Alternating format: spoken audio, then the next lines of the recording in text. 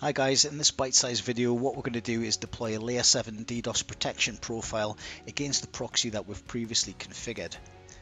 Now to start with what we would do is we're going to tune these values right down so transactions per second and the likes to abnormally low values just for demo purposes but typically what you could do is you would deploy these with the default values um, and then let this run in transparent mode for 7 to 14 days and then you could review this with the F5 Silverline SOC and they could obviously give you the pointers in terms of tuning these thresholds to realistic values. Of course your server admin could look at the log files of the application servers and web servers and determine these transactions per second rates which could then obviously be translated to the policy and applied without further tuning being required. As you can see here, we're setting the typical rate-based and stress-based anomaly detection. Um, we're going to move this straight from uh, transparent mode into blocking mode so that we can see the effects of the attack mitigation that I'm going to demonstrate for you today.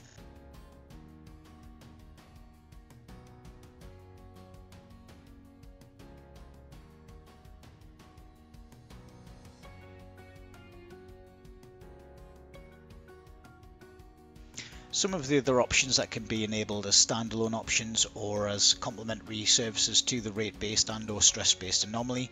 And start with bot protection. Um, obviously this is a behavioral analysis um, option for good versus bad bots. Um, typically if you're going to use this with rate-based and or stress-based anomaly then we would recommend that you have that set to upon attack only as opposed to always to prevent uh, false positives occurring. Uh, geolocation, what it says on the tin, uh, you know, if you're not expecting traffic from any of these particular countries, they can be blacklisted from the outset, or if you feel that those countries are a threat, you can block them from the outset.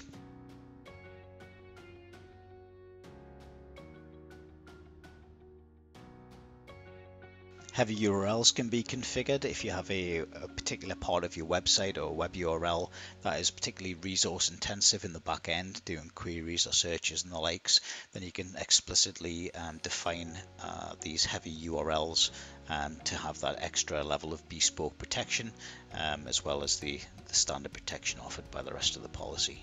And lastly, if you want to utilize CAPTCHA for any of the bot detection mechanisms within the rate-based or stress-based anomaly detection, um, this would need to be enabled ahead of time.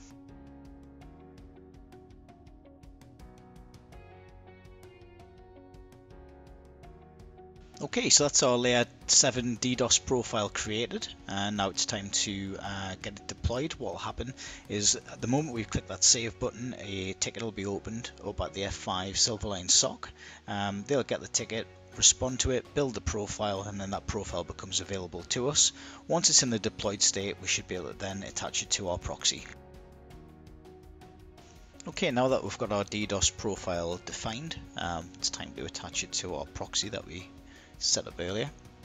Um, so if we just go to proxy management and then select the proxy um, and then if we just select the drop down for layer 7 DDoS profiles and there's our policy there just add that in and click save. This will create another ticket to the F5 Silverline SOC um, this time for them to actually apply the policy. So that's our layer 7 DDoS profile configured and applied Check out the next video in our micro series to see this in action. Please like, subscribe and comment, and thanks for watching.